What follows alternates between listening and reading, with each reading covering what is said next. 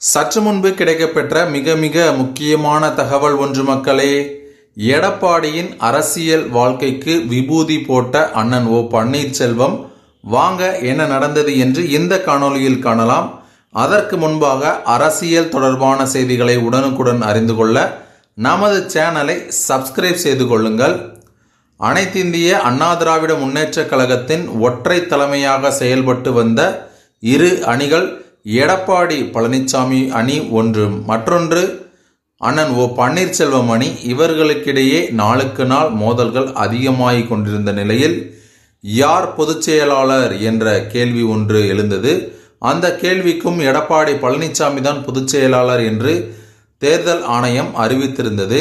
இதில் ஒருங்கிணைப்பாளர் என்ற பதவி ஒருவருக்கு வேண்டும் என்று கேள்வியும் இருந்தபோது அண்ணன் ஓ பன்னீர்செல்வத்தை அதிமுகவின் ஒருங்கிணைப்பாளர் ஆவார் என்று தேர்தல் ஆணையம் அறிவித்திருந்தது. ஆனால் எடப்பாடி பழனிசாமியால் ஒருங்கிணைப்பாளர் கையெழுத்து இன்றி எந்த ஒரு செயலிலும் ஈடுபட முடியவில்லை. அதனால் அண்ணன் ஓ பன்னீர்செல்வத்தை அதிமுகவிலிருந்து நீக்க பல முயற்சிகளை மேற்கொண்டார் எடப்பாடி பழனிசாமி.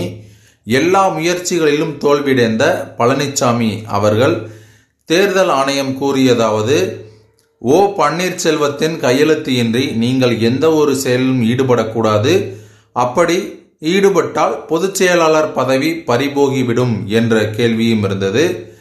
இதில் அண்ணன் ஓ பன்னீர்செல்வம் அவர்கள் எடப்பாடி பழனிசாமியை பொதுச் செயலாளர் பதவியில் இருந்து நீக்க கொடநாடு கொலை வழக்கு பற்றிய சில முக்கிய ஆவணங்களை ஒரு சில தினங்களில் வெளியிடப் போவதாக அறிவித்திருந்தார்.